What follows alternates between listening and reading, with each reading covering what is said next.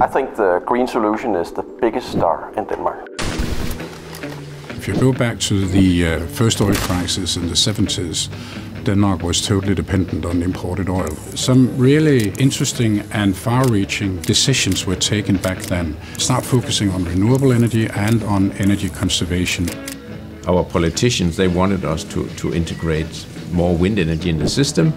We thought that this was crazy, and we thought at the maximum we could integrate a few percent of wind power without threatening the level of security of supply in our system. And then today we operate a system with more than, than, than 40% of wind power and one of the highest levels of security of supply in the world.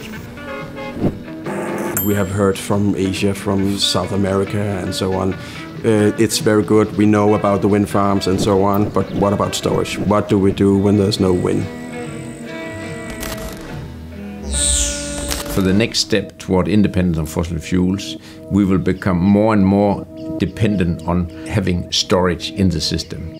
Everybody says, well, batteries. Batteries are good storage, but batteries are very expensive. And then we came up with this uh, stone storage. Very simple. You take surplus of electricity, you heat up a big pile of stones, so you can store the energy in these stones uh, as uh, hot energy.